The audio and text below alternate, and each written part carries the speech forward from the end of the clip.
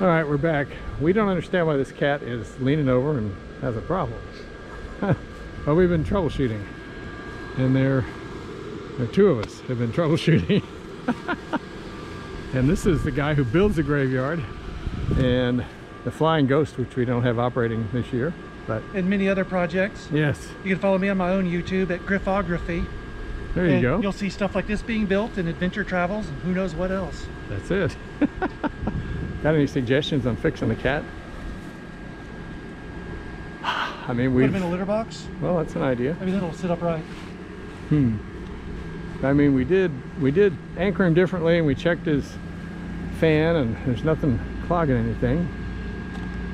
You may have a point about atmospheric pressure. I don't know. That's a good question. Let's see if we can.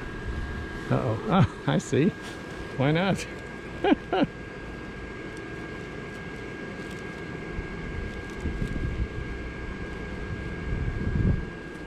The stick's not strong enough. We can go get the stakes for it if we need to.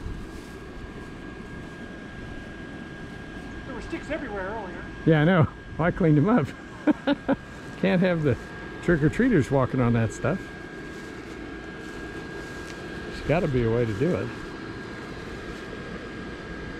I don't see any any tears. I don't know why we would have leakage. Well, let's see if we can get this thing to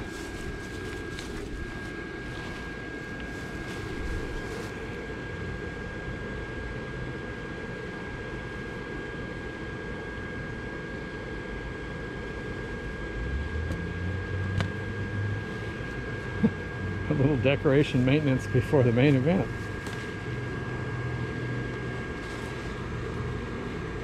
We can always go get the actual metal stakes and the, I don't think it really actually helped.